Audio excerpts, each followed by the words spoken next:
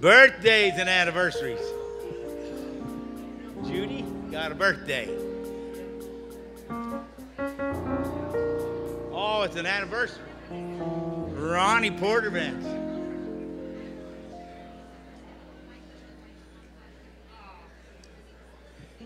Anybody else with a birthday or an anniversary? What a good looking bunch. Brother and Sister Day. What did you say? 50, 56? 61. Amen. Brother and Sister Day got 61. Who is it? Linda Ellington has a birthday? Does Linda have a birthday?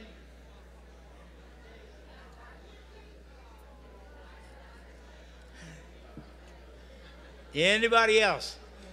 What a good looking bunch here, I'm telling you.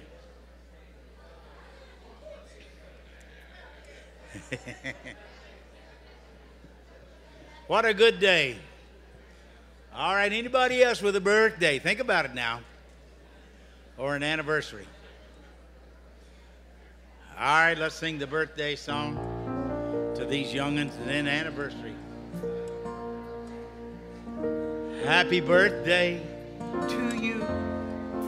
Happy birthday to you. Happy birthday. God bless you. Happy birthday to you. Happy birthday to you. Only one will not do. Born again means salvation. How many have you? Bob and Judy Carl and Dorothy, happy anniversary. Happy anniversary to you. Happy anniversary to you. Happy anniversary. God bless you. Happy anniversary.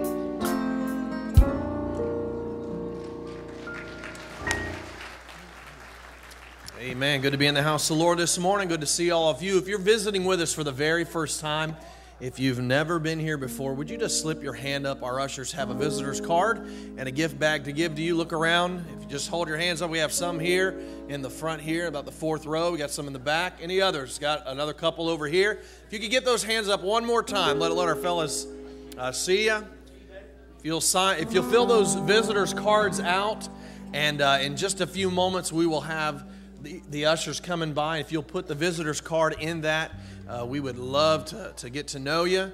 Uh, today we have a meal prepared in the cafeteria. If you're visiting, uh, you eat for free. We'd love for you to stay. And so if you're visiting, please stay with us. Uh, we'd love to love to have all of you here. Um, want, want to make uh, one announcement. Yesterday we had our, our golf tournament. Some of the most beautiful weather you've ever seen. It rained the entire time, and it was about 57 degrees. So, all those that played, half of them have pneumonia this morning. They're not here. But I want to show y'all, show the picture. This is Christy handing out drinks. That's how cold it was, and the rain was coming in sideways. But we had one winner or one foursome that won, and we've got their trophies up here. So, Ron, if you get those trophies for them, we're going to call them up. And believe it or not, they're from the campground. Can you believe that? So, we're going to call up Dan Chapman, come forward, and Bill Robbins, Delma Ratliff, and Luther Young. You guys come forward. Let's give them a hand. These are our, our foursome winners.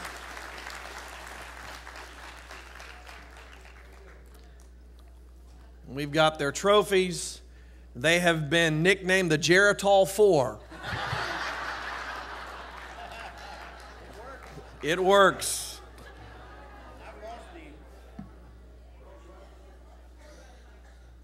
Here it is. There's another one gone somewhere. There you go. That's the way I golf.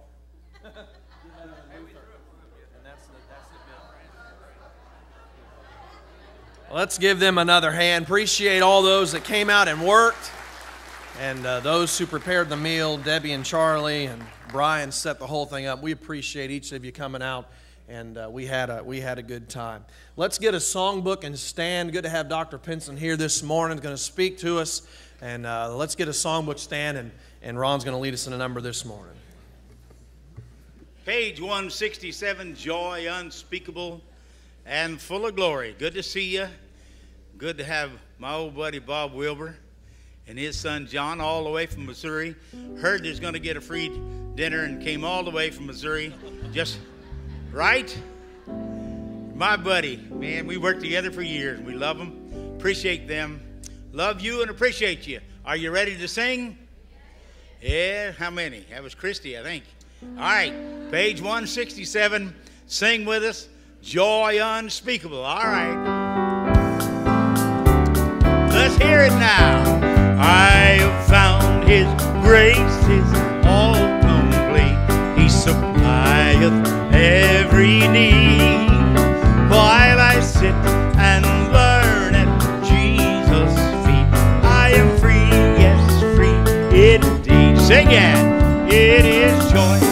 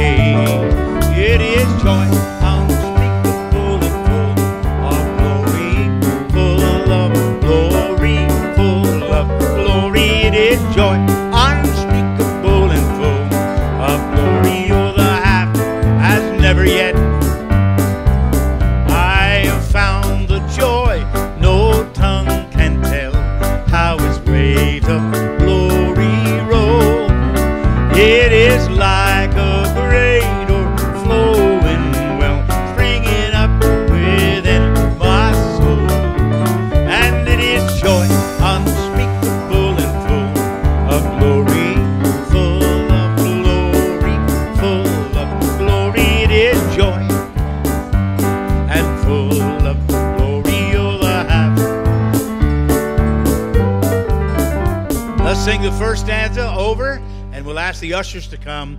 We'll come for this morning's tithes and offerings, singing on the voice. First about joy unspeakable. I have found His grace is all complete. He supplieth every need.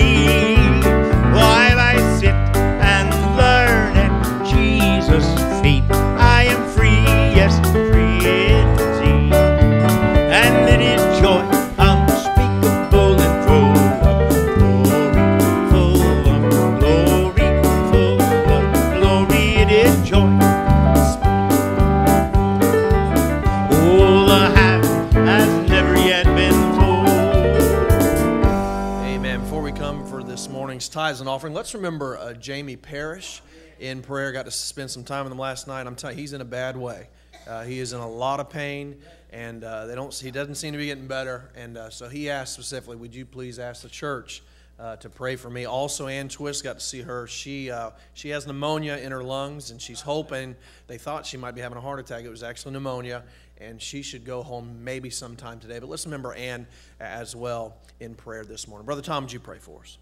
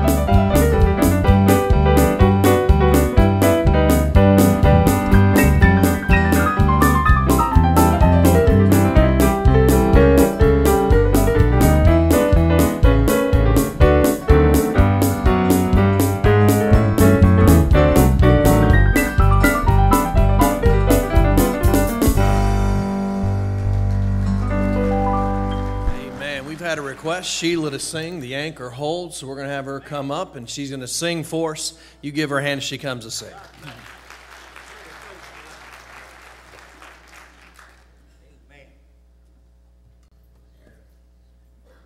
I'm glad the anchor does hold because uh, Kevin called me this morning and said, You're going to sing this. I said, Well, I haven't sung it in a couple years, so I'll get it out and practice it. Couldn't find the CD. Then we found the CD. We got a new car. We couldn't figure out how to work the CD player. so now I have the words and they're tiny, so y'all pray for me. But I'm so thankful the anchor does hold. And I was thinking this morning about this song, how much I love it, and how much I wish I'd written down throughout the years. I tell you, young people, keep a journal and write down every prayer that the Lord has answered for you because we do get older and we do forget. I know He's answered so many, but I know I forget sometimes how, how many blessings He's poured on me and how many prayers He's really truly answered. Small prayers, little prayers, and big prayers, and I don't want to forget them. So um, pray for me as I sing this. I do love it, and I love the Lord.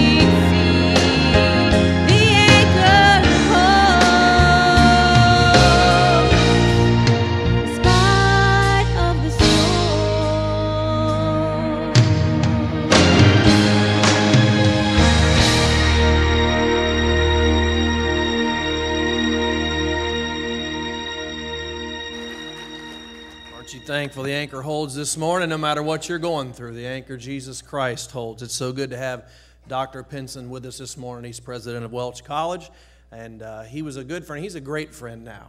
Uh, we we uh, we have a great relationship, and I, I, was thinking as as she was singing, he couldn't be with us this time last year uh, because his wife uh, has cancer and was going through a very serious surgery, and uh, she's still still going through it. She's had a really rough last few months. And I know it's very trying on him and his schedule. And I thought, what if every one of us would promise today Amen. that we're going to get on our knees and lift up Melinda Pinson in prayer every single day until God answers that prayer? Would you do that? Would you promise that today? That we'll lift her up and encourage her and encourage him because he's an encouragement to me that, that he can do the work that God's called him to do. But I want you to remember her in prayer, especially uh, Melinda Pinson in prayer. But I love this man. I love uh, all that he stands for and what he's done. I want you to make welcome Dr. Pinson as he preaches for us this morning. What a joy it is to be at Seffner. It's always a boost to me to come here and to see the joy of the Lord in all of your faces. And let me tell you, your pastor, you are so blessed to have a pastor and wife like you have. Your pastor has been such a blessing to me as a friend and as an encourager, but also to Welch College as a trustee board member. We're so glad to have him there. And let me tell you uh, how appreciative we are of this church and the students that you send to Welch College. They are a blessing to us. I just saw one of the young men uh, recently, and I said, I'm going down to Seffner. And he said, I wish I could go down there with you, but he said, I like it up here too. And so we love your students that you send to us. They are a real blessing to us. And we appreciate so much the prayers that you put up for Welch College and the uh, funds that you give to our institution. You know we're moving after all of these years, almost 75 years on our West End Avenue campus, we are moving to Gallatin, Tennessee, to a new 66 acre campus that we have bought. And uh, the architect of this move is in this congregation. His name is Dr. Tom Malone. And uh, it, it, way back in, the, in more than 20 years ago now, the Lord put in his heart a vision that we needed to move out of the area that we were in there in Midtown Nashville, where the zoning is so hard and the property is so expensive that we could not continue to expand our campus and our ministry. And so the Lord laid it on his heart to find a new place for us and to relocate the college so that we could expand and so that we could grow and so that we could do what God has called us to do. And finally, we, after all these years, the Lord, in His timing, has brought us a buyer and we have sold the campus and we are now building uh, our new campus. And we want you to uh, pray for us and to support us in every way you know how as we build that new campus for the glory of God and continue our mission that the Lord has given us for, set, for nearly 75 years to educate leaders to serve Christ, His church, and His world through biblical thought and life. It is wonderful to see students come into a place where they can discover what God's will is for their lives. We really believe that every student, every individual, everyone in this room has a unique kingdom purpose, something God has for you. And we believe that every student that comes into our school is there to discover that kingdom purpose, and we are there to equip them to fulfill that kingdom purpose and to give them the tools that they need to fulfill that kingdom purpose. And without churches like Seffner Free Will Baptist Church, like Tampa Free Will Baptist Church, we cannot do what God has called us to do. You are a part of our mission, not only in sending us young people, but in supporting us with your prayers and your, with your financial giving. And we appreciate it so much and ask you to continue. I also appreciate all of the prayers that you have sent up for my wife. And I ask that, uh, thanks so much, Brother Will, for mentioning her. And I ask that you continue to pray for her in the coming days. Our text for this morning is Hebrews chapter 11. Hebrews chapter 11, verses 24 through 27. Hebrews 11, the faith chapter and one of the most illustrious examples of the faith of which the author of Hebrews speaks is Moses. And we're going to look at him and his faith in Hebrews 11 24 through 27. Now, this is the word of the Lord. By faith, Moses, when he was come to years, refused to be called the son of Pharaoh's daughter, choosing rather to suffer affliction with the people of God than to enjoy the pleasures of sin for a season, esteeming the reproach of Christ greater riches than the treasures in Egypt, for he had respect unto the recompense of the reward. By faith, he forsook Egypt, not fearing the wrath of the king, for he endured as seeing him who is invisible. Let us pray. Our God, we are not worthy to approach your throne, but you have told us that we can come boldly before the throne of grace because of your Son, the high priest, who has paid for our sins. So we have nothing to be ashamed of not on our own merit, not what we bring to the table, but what God's Son, Jesus Christ, has done for us. And so we come to your throne even now, and we pray that you will bless us. We pray that your Spirit will anoint this preached word, that it'll help all of us to come into contact with the truth of God, which can change us and which alone can change us. We pray that you would work in our hearts to bring about spiritual transformation this morning as we look into this text. Through Christ we pray. Amen. Now imagine what it must have been like. Here was a Hebrew man who'd grown up in the court of the Egyptian Pharaoh, the adopted son of a princess who was the daughter of the most powerful monarch of the ancient world. But this young man, Moses, he knew who he was. He was secure in his identity. Beneath all the status and the wealth, he knew who he really was. He was a Hebrew, he was a son of Abraham, he was one of God's people. And he knew that God was calling him. He knew that God was calling him to leave behind the power and the prestige and the pleasure of this great palace court and the Egyptian empire. He knew that God was leading him to be numbered among the people of God, the poor, the lowly, the, despi- the despised, slaves of the Egyptians. That was his calling. He knew that was his identity. And what does it take for a man to leave behind a throne that could possibly be his one day? The throne of the most powerful nation on the earth. What does it take for someone to refuse to be a prince? to choose to be counted among the poorest, the lowliest, most despised people, a nomadic tribe of escaped slaves, all because he thinks God is calling him. What does it take? Well, the author of Hebrews tells us what it takes. And in this text, he recounts for us the faith of Moses. And he wants us to listen.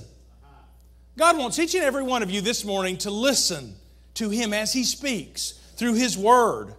And what he wants us to do is to hear about this faith. Because this faith, Moses' faith, gets to the essence of what it means to be a Christian. It gets to the essence of what the gospel is all about and what our lives in that gospel ought to be about, even today in our very complex culture. It's still about the same things. It's about faith. By faith, and that's that phrase that's used over and over again in this chapter by faith. By faith. That's what it took for Moses to do what he did. By faith, Moses, when he was come to years, refused to be called the son of Pharaoh's daughter. Now, this text has so much to teach us about what it means to have faith and what it means to follow God wherever He leads. And that's what following, that's what faith is really all about. It's about discipleship, it's about followership, following God where He leads. That's what it's about. It's not just saying what you believe, it's not just mental assent, intellectual assent to the truth. It's following, it's discipleship. And I think this text has so much to tell us about what that discipleship looks like. And this morning, I want us to focus our attention on Moses' example of faith in following the Lord. And I want each one of you to search your hearts and to probe your minds to ask yourself the question what does it mean for me to forsake all to follow God? What does it mean for me? What does it mean for you? Well, the first things it means is that we must embrace the faith of Moses. If we are going to be the people of God for this generation, we must embrace the faith of Moses. At the root of everything Moses did for God was his faith. And this faith that Moses had is the same kind of faith we've got to have today. The same kind of faith Jesus calls us to in the gospel. We see it in verses 26 and 27 verses 26 and 27, which say that he esteemed the reproach of Christ greater riches than the treasures of Egypt, for he had respect unto the recompense of reward. And then down in 27, it says, he endured the wrath of the king as seeing him who is invisible. That's what faith really is. That's the content of Moses' faith. That he looked toward his heavenly reward and he saw God who is invisible. Those are the two things that we see about Moses' faith. That's the content of his faith. Those two acts describe the essence of faith. First, looking toward his heavenly reward, having respect unto the recompense of reward. And second, seeing the invisible God. This is the same kind of faith the author of Hebrews describes in the first two chapters of this book. Remember, you can quote it with me. Faith is the substance of things hoped for, the evidence of things not seen. That's the definition of faith, right? Well, that's what it's described here in verses 26 and 27. Faith is the substance of things hoped for, the evidence of things not seen. It's exactly what Moses' faith was like. His faith was the substance of things hoped for, the evidence of things not seen. Verse 26 says he had respect unto the recompense of reward. In other words, he was peering into that future reward. He was setting his gaze on the reward ahead that was to come. That's the things hoped for in verse 1. But then verse 27 says that he saw him who was invisible. That's the evidence of things not seen. That's the faith Moses had. And that's the faith, faith that every one of you and I are called to. Think about this a little bit. We see here in Moses, in this little passage and in Moses' life, a portrait of saving faith. We see a repentance. He turns his back on the court, on Egypt on what, was before, what could have been his. That's what we do, isn't it? In repentance, we turn our backs on sin. We forsake sin, just as Moses forsook the pleasures of sin for a season, refusing to be called the son of Pharaoh's daughter. So we see repentance. But we also hear, see here a belief in an unseen reality God and His kingdom, an unseen reality. We are so tempted today by what we can see the lust of the eyes what we can, what's tangible, what we can place our hands on, what we can put into a test tube, things that can be discovered by our senses. And yet, God says it is the unseen realities that are, that are the most important. But we also see here an investment of our life in that unseen reality. And we're called to that. We're called to pour our lives into the unseen reality of God rather than investing our lives in this present, this passing evil age, which is passing away with its lusts. We also see here a longing for deliverance. He's longing, he's peering into the future. He's looking longingly for the reward that will be his after this life. He is not focused on the here and now.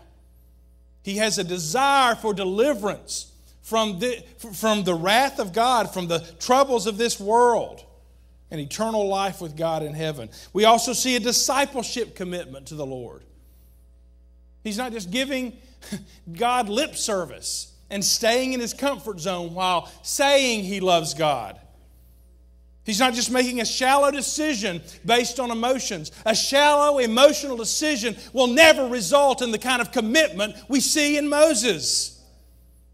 What we're talking about here is a willingness to deny ourselves to take up our cross and to follow Jesus.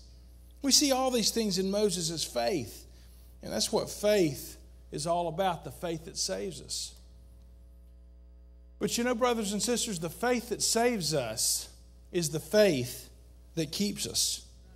It's the faith God uses to lead us by His own hand day by day. It's the faith that sustains us in the good times and praise God, it's the faith that, that, that, sustains us when we think we're walking through the valley of the shadow of death. And I can tell you, this last year has sometimes seemed unbearable to me, but holding to God's unchanging hand has meant so much to me and Melinda. As we have seen what real faith is all about. The faith that saves is the faith that keeps, it's the faith that sustains us. When we in our own strength don't feel as though we can go on, the faith that saves is the faith that sustains, it's the faith that keeps. And the faith that gave Moses the courage to refuse the delights of the world in Egypt later gave him the courage to suffer, to suffer with the people of God in the wilderness. Brothers and sisters, the Holy Spirit is calling you. He's begging you even now He's calling you to embrace this radical faith of Moses. Don't be satisfied with mere intellectual assent to the truth. Don't be satisfied just with religious feelings.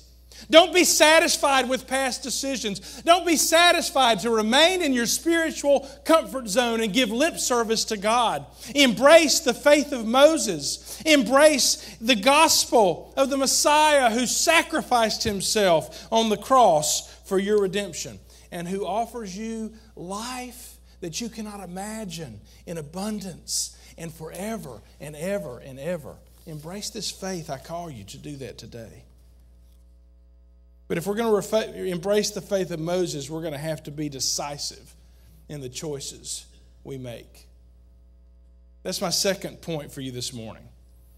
Be decisive in the choices you make. That's what we see here in this text.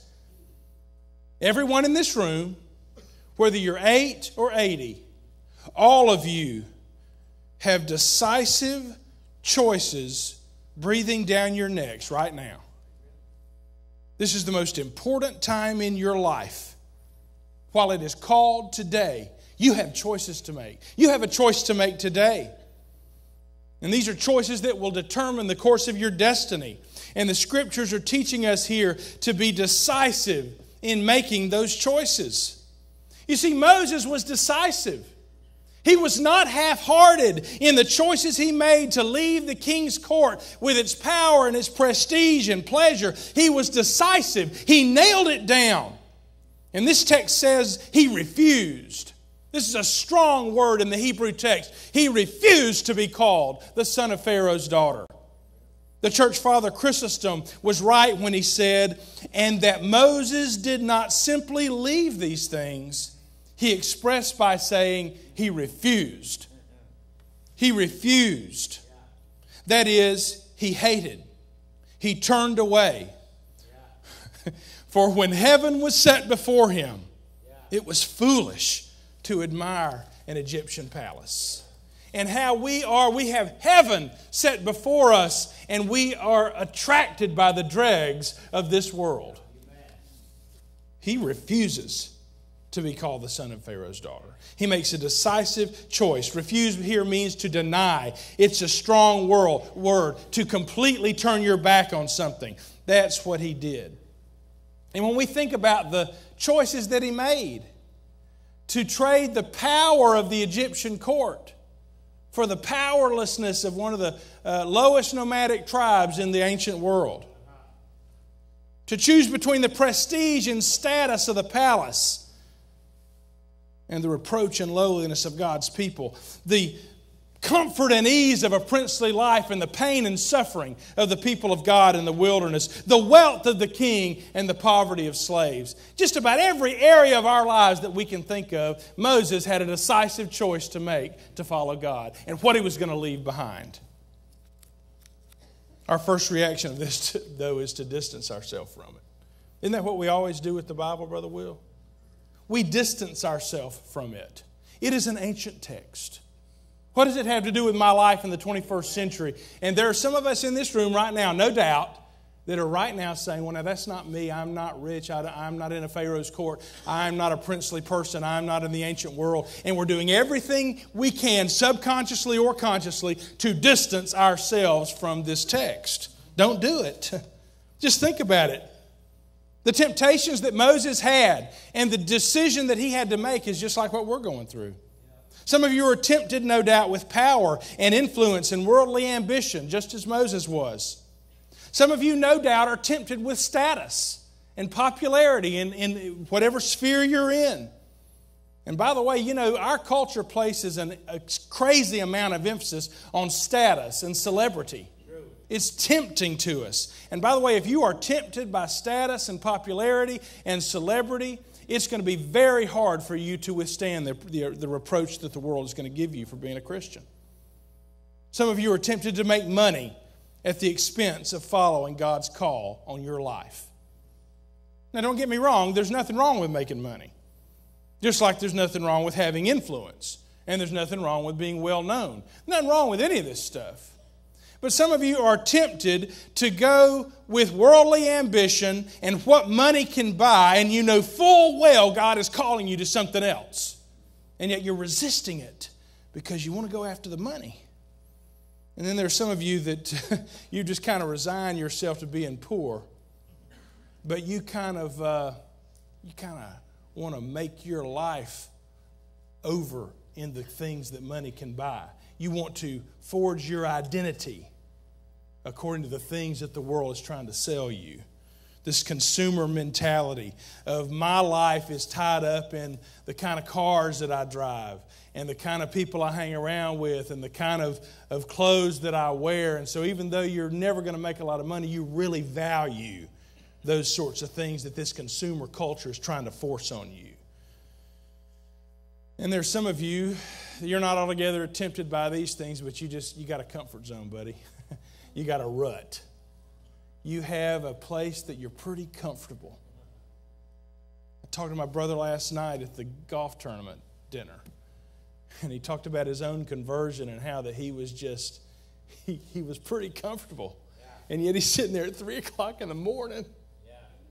and, and something begins to gnaw at his heart i am not satisfied there's got to be something more let me tell you there is something more and the Holy Spirit is calling out to every one of us there's something more. There's something that can satisfy, and it's the only thing that can satisfy. You see, God is calling you. The Spirit is begging you to be decisive, to make a decisive choice while it is called today at this crucial moment in your life. He's calling you to be decisive about what you need to leave behind. The world, with all its ambitions and status and consumer identity and materialism and thirst for power God wants you to leave that behind and follow Him with abandon.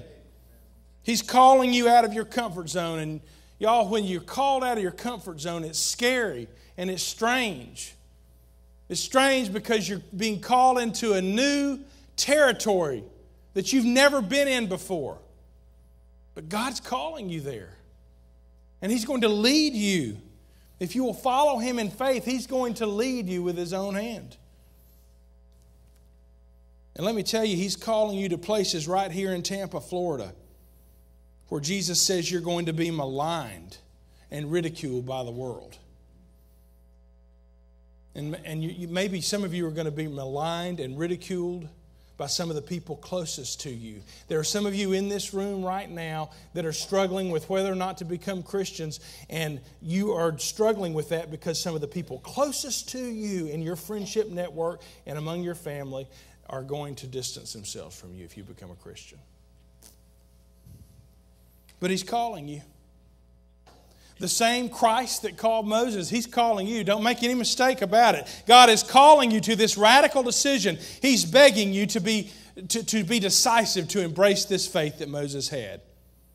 But in our increasingly post Christian world, I believe that being faithful is going to involve something else that Moses did.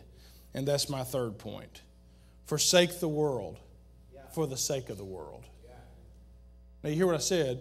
Forsake the world for the sake of the world. We think that the only way we're going to win the world is to be like the world. That's precisely the opposite of the Bible's recipe. The Bible, everywhere on its pages, says, Forsake the world for the sake of the world.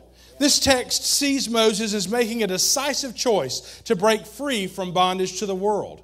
That's what Egypt is a symbol of in the Bible the world. You see, Moses refused to be called the son of Pharaoh's daughter. He acted decisively to refuse to be a part of that. Verse 27 says, He forsook Egypt. And that word forsook there is just as strong of a verb as the word refuse in verse 24.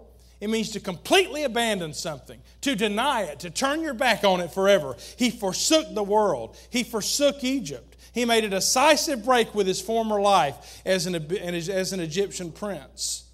And this is what God's calling you to do. It's not easy to hear.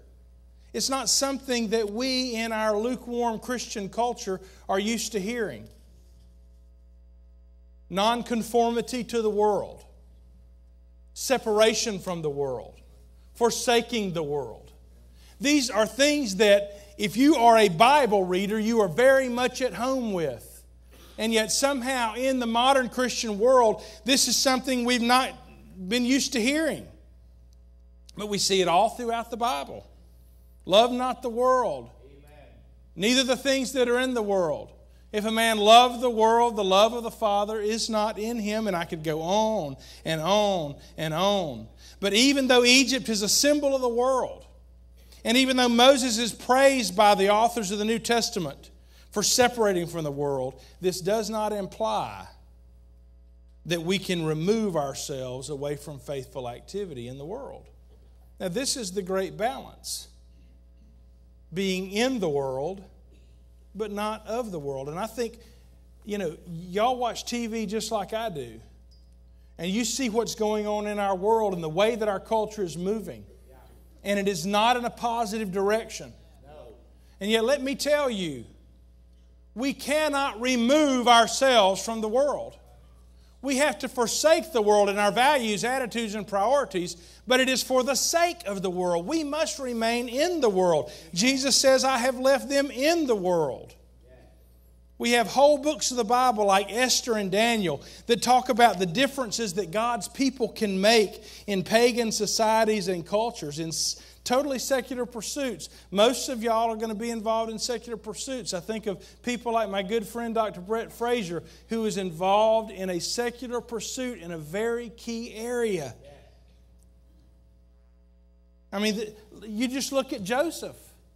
I mean, just a few verses before, he talked about Joseph. But Joseph's whole life was in secular government, right? And yet, just a few verses before, the author of Hebrews brags on Joseph for being faithful. So, being faithful will involve being in the world. But if you're not separate from the world and forsaking the world in your values, attitudes, and priorities, you will not be able to affect the world for the gospel of Jesus Christ. But how did Moses forsake the world? Oh, this brings me to my fourth and final point this morning. He embraced the reproach of Christ. See, forsake the world, that's kind of a negative thing. But the way that he did that was he embraced something. He embraced the reproach of Jesus Christ. It says that right in that text. Now, embracing the reproach of Christ. What does it say there? He esteemed the reproach. Let's see. The repro- esteeming the reproach of Christ, verse 26, greater riches than the treasures in Egypt. You see, for Moses to forsake the world, he had to, to, to embrace the reproach of Christ. That, that's really like talking about repentance and faith. My old theology professor, Leroy Forlines, said that repentance and faith are two sides of the same coin. To have faith, you must repent. Repentance, an, a 180 degree turn but you're turning away from something and toward something. So you cannot forsake the world just because you make up your mind to do so. You forsake the world because you are reaching toward a positive end. You are embracing the reproach of Christ. But just think about that phrase embracing the reproach of Christ. That's odd. My, my son Matthew, when he was a younger boy, he would say awkward. He, he meant to say odd, but he would say, Well, that's awkward. well, let me tell you, that is awkward. That is odd to say that we need to embrace the reproach of Christ. You see, to go against our culture, to go against the grain, and to embrace the reproach of Christ is going to be the hardest thing we do. But that's exactly what God is calling on us to do to embrace the reproach of His dear Son. And when we embrace the, the Christ life, when we follow Jesus with our whole heart, we are going to be maligned. We are going to be reproached by this world. That's one thing Jesus promises us. If the world hates you, know that it hated me before it hated you. The world will hate you if you follow Jesus. That's why severe persecution is taking place all over the world. There's more martyrdom today than in the entire history of the church combined. But this is all to be expected that we're going to have more reproach, more persecution in a world that is setting its face against Christ more and more. And you will experience persecution at work, at school, in college, even in your own family, and among some of your closest friends, if you decide to embrace the reproach of Christ, you will be hated by the world. But don't worry about it. The Apostle John says, Do not worry. In fact, he says, Don't be surprised if the world hates you. That's almost a direct quote from, the, from John's first uh, epistle. Do not be surprised if the world hates you. You see, this is all to be expected, it's all over the Bible. When you read the Bible, you come to expect that believers in Christ are going to suffer the reproach of the world, even to the point of martyrdom. We don't think a whole lot about martyrdom. We don't live in China. We don't go to a house church. We're not under, placed under arrest for our faith. So we don't think a lot about martyrdom. But I believe that we need to re embrace a faith of martyrdom, a martyrdom kind of faith. And I believe that things are going to get more difficult for the Church of Jesus Christ. I really do. In this increasingly post Christian age, I don't know how long it's going to take. I have no doubt that in the very near future, schools like ours and churches like this will lose their tax exempt status. Well, of course, the people in China would laugh and say, Well, that's nothing. That's nothing. The people in the Middle East who are being persecuted and killed for their faith, they would say, Tax exempt, what? That's nothing. And yet, those are the sorts of subtle persecutions I believe we will continue to face as believing Christians in society. But don't worry, because as Tertullian, the great church father, said, the blood of the martyrs is the seed of the church. what that means is you're suffering for the gospel. Your embrace of the reproach of Christ is just a seed. More people are going to come to Christ the more you embrace that suffering. And Moses knew this. He knew that unless he was willing to suffer and die with the people of God out in the wilderness, he would never be able to please God and do what God has called him to do. But, y'all, this idea of the embracing the reproach of Christ, it's a foreign idea to us. It's a foreign idea in many of our churches because it goes against the grain. It's not comfortable. It's not exciting. It's not going to draw people in by the droves. And maybe it's why not more people are answering the call to difficult mission fields. Because we are not talking enough in our churches about embracing the reproach of Christ. The consumer Christianity that so many Christians have embraced today is inconsistent with an embrace of the reproach of Christ. The more comfortable you are, the less willing you will be, uh, be to embrace the reproach of Christ. And we even see it in people that are writing books about how to grow the church. People who I think their hearts are right, they really want to see more people come to Christ, but people are writing books that are telling us the only thing you've got to do to draw people into the church and to grow the church is to make people comfortable and happy and to attract people to your church based on stuff they like. In other words, you give them entertainment that they enjoy, kind of like what they listen to on the radio and what they love out in the world. And non Christian people will flock to your church and they will be converted and they will become Christians because you're providing them something like the world provides them that they enjoy and they like. You're attracting them, you're appealing to them based on their consumer tastes and preferences.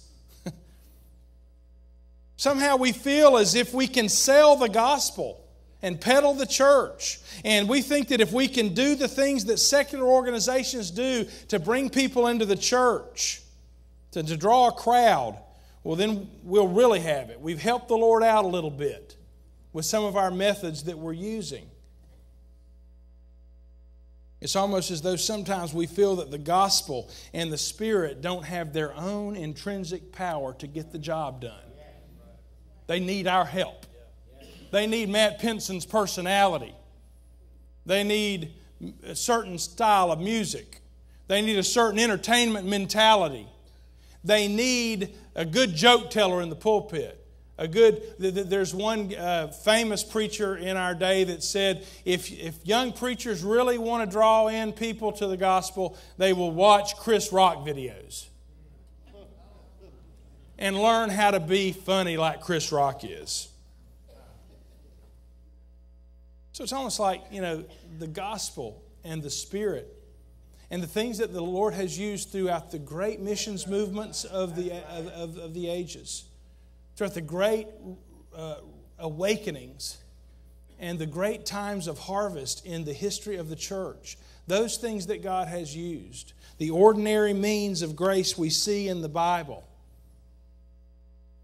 mm, that's not really going to get, get the job done. We've got to add, we've got to help, we've got to do something to attract customers. And what this means is that churches are trying to attract people based on things that have nothing to do with the Spirit or the church or the Bible or the gospel.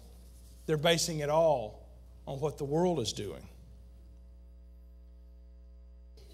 But you know, this is exactly the opposite of what the Bible teaches. You see, the picture of the church we have in the Bible is of the scandal of the cross. That's what the Bible teaches about the Lord. It's a scandal. The Bible presents a gospel that is not attractive to the natural man, that is not appealing to the natural man. It's a gospel that must penetrate men's and women's hearts and minds by means of the Word of God and by means of the Spirit of God, not by means that are appealing and attractive to the natural man. The natural man does not understand the things of the Spirit of God. You see, in the Bible, we're presented with a gospel that is scandalous. It's referred to as a stumbling stone and a rock of offense. It's not something that gives you a warm fuzzy. It's not something that gives you your best life now. It's not something that makes everybody think you're cool. Instead, it causes people to be angry that's what we see in Jesus' ministry. People become angry and they become riled up when they hear the gospel. The Bible says that the gospel is either going to attract people because it's a sweet smelling savor or it's going to push people away. The gospel creates tension in people. That's what it's meant to do. It causes people to be angry. And that's why Jesus said the world will hate the church. The gospel is a stone of stumbling, a rock of offense. That's what it is by its very nature.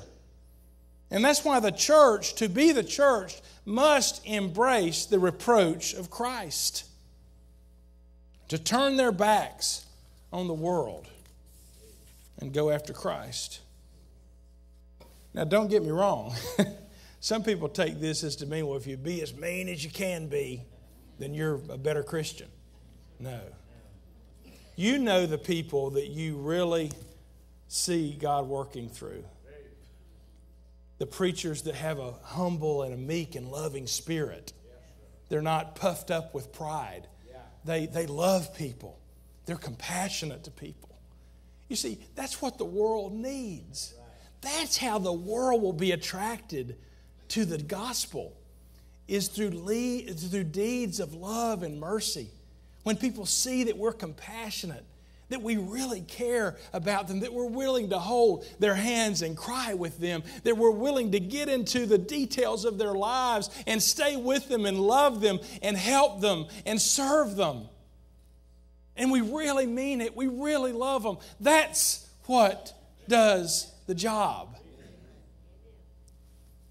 But as much of that as we have, if we present the gospel of the Bible, it will meet with hostility.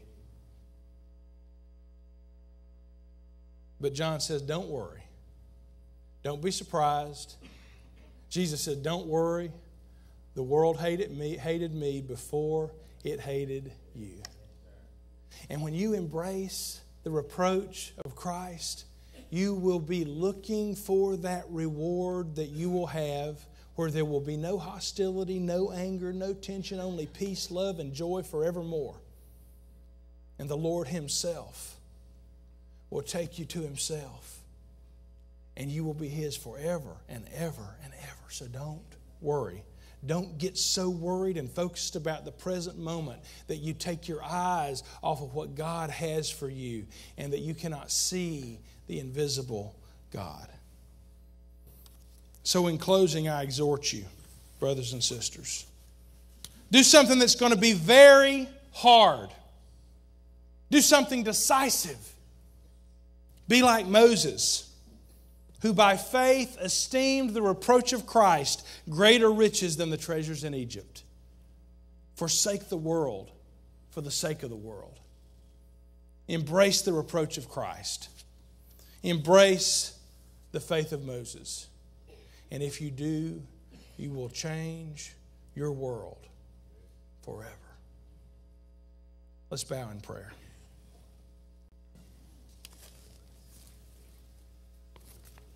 Our God, we pray that you would change us through your word.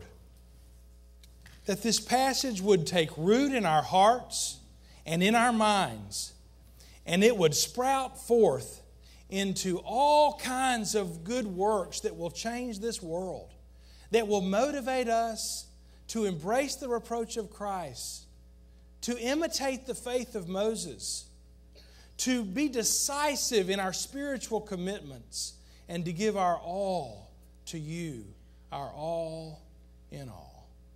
Lord, change us today. Motivate us today by your word and your spirit. Through your Son's name we pray. Amen. Stand together if you need to pray. The altars are open as we sing. Page 185. Softly and tenderly,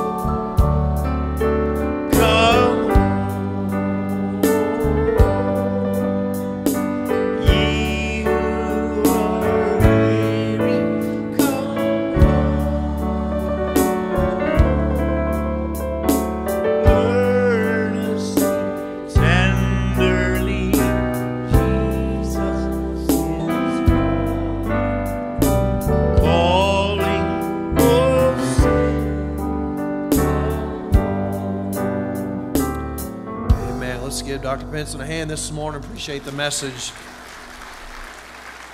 We have the ushers in the back. Uh, as we're leaving, we'll be taking an offering up for him and the Bible College. So everything you give uh, this evening or this uh, at the end of service will be going.